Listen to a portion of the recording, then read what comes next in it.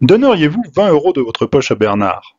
Non, pas lui Bernard, Bernard Arnault, c'est celui qui est même plus milliardaire. Maintenant, il est centi-milliardaire. Alors, vous lui donneriez 20 euros? Et puis à lui aussi, et lui, et lui, et lui, et lui encore. Tous ces milliardaires détiennent Le Figaro, puis Le Monde, Les Échos, Le Parisien, Paris Match, Libération, Le Point, Valeur, et encore toute une quantité d'autres journaux et magazines. C'est bien simple, depuis 15 ans, tous les grands journaux sont tombés dans l'escarcelle d'hommes d'affaires milliardaires. Bien sûr, nous aurions pu penser que les brillants hommes d'affaires, reprenant les rênes de journaux en flammes, allaient redresser la situation. Les Arnaud, Niel, Lagardère, Pinault, Rothschild, Dassault, Drahi, Kretinsky.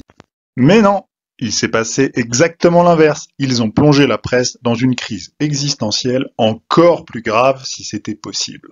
Non seulement aujourd'hui, Moins d'un Français sur quatre a encore confiance dans les médias d'information, selon une étude du Reuters Institute de l'Université d'Oxford, ce qui nous place en avant-dernière position. Il n'y a guère que les Coréens pour avoir moins confiance que nous dans leur presse et leurs médias d'information. Mais en plus, alors que personne ne veut de leur torchon, ils font cela en votre nom et avec l'argent de vos impôts. Rien qu'en 2020, vous avez donné aux milliardaires des médias 20 euros. 20 euros par foyer, c'est-à-dire vous, mais aussi vos familles, vos amis, les amis de vos familles, les familles de vos amis. Au final, ce sont 1,3 milliard d'euros d'aides directes et indirectes qui ont été versées à la presse et aux médias d'information et dont les milliardaires se sont taillés la part du lion. C'est 500 millions de plus que les autres années parce que la presse aussi a eu le droit à son plan de relance, alors que les kiosques sont toujours restés ouverts pendant le confinement, que la poste a continué à fonctionner tant bien que mal, et que surtout, la volonté de s'informer n'a jamais été aussi importante qu'aujourd'hui, et d'ailleurs, le trafic des grands journaux d'information a plus que doublé pendant la période de confinement. Mais dans cette crise, comme à la guerre, la vérité est la première victime, victime de la censure et de la propagande. Si ces gens faisaient de l'information plutôt que de la propagande, s'ils vendaient des numéros, des abonnements plutôt que de la publicité, ils seraient aujourd'hui en pleine santé. Croyez-moi, je suis bien placé pour le savoir.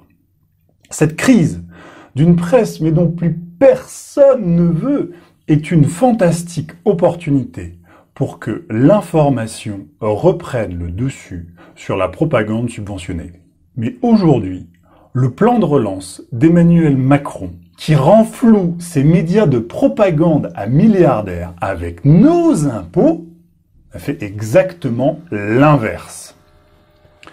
C'est pour cela qu'il est urgent aujourd'hui de dire non à ce qu'on est obligé d'appeler un détournement de fonds publics au profit des intérêts privés de peut-être 6 ou 7 milliardaires à peine. Nous avons le droit et nous avons même le devoir de nous élever aujourd'hui contre cette propagande et de défendre notre droit à une information impartiale. Mais pour cela, il faut agir vite. Il faut agir avant que le plan ne soit voté au Parlement. Nous devons, dès aujourd'hui, mettre la pression sur nos parlementaires pour qu'ils refusent de signer euh, ce plan de relance. Nous devons leur rappeler par qui ils sont élus et auprès de qui est leur devoir. Et pour cela, j'ai besoin de vous. Il faut que nous nous y mettions tous ensemble. J'ai besoin de votre aide, s'il vous plaît je vous demande de signer et de partager la grande pétition que nous avons lancée contre ce plan de relance de la propagande. Vous trouverez euh, un lien euh, en commentaire de cette vidéo ou en dessous, euh, ou peut-être aussi un dans un coin de la vidéo.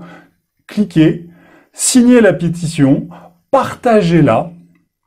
à l'heure où je l'enregistre, nous sommes déjà 34 000. 34 000 à avoir dit non à cette propagande subventionnée et le mouvement prend encore de l'ampleur. La vague est en train de devenir irrésistible et ce n'est vraiment pas le moment de nous arrêter là. C'est pour ça que j'ai besoin de vous maintenant. Il faut que nous interpellions nos députés, que nous interpellions le gouvernement. Ils n'ont pas le droit de faire ça avec notre argent et surtout en ce moment où nous avons besoin de chaque sou.